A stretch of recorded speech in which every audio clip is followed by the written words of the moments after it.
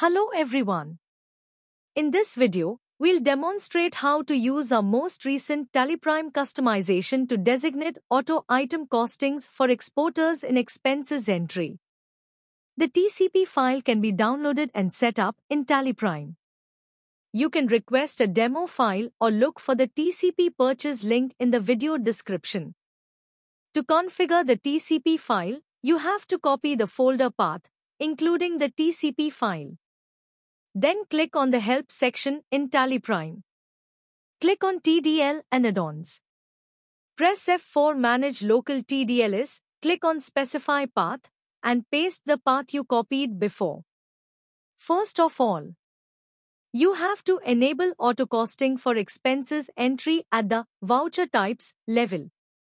Now go to Alter, Voucher Types, choose Purchase, and set Yes for the option called Enable Auto Costing for Expenses Entry, then choose the ledgers as per headings. Like CGST, SGST, IGST, Cess, and Round Off. Now go back to Gateway of Tally. Now we will create a purchase entry without any GST impacts. Once the entry has been saved, we will review the stock summary report, which shows that the item rate and value are identical. Return to the purchase entry or alter it now. Note, you are welcome to utilize your earlier entries, however, we have made a new purchase entry for demonstration purposes.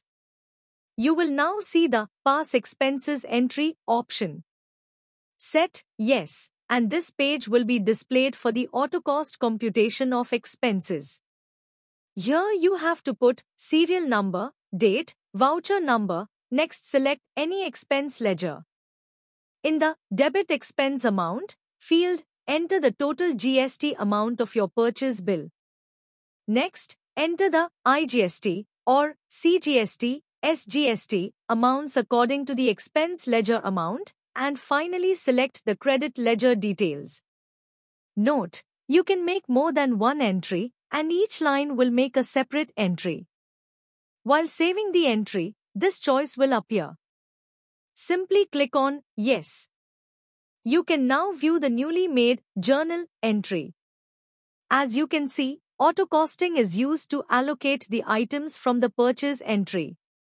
We'll go over the stock summary report again now and you'll notice that the modifications have already been made. The value and item rate are exactly as they should be. Thanks for watching the video. If you have any queries please feel free to reach us. You can find the customization purchase link in the video description or you can contact us at the below numbers for a demo file.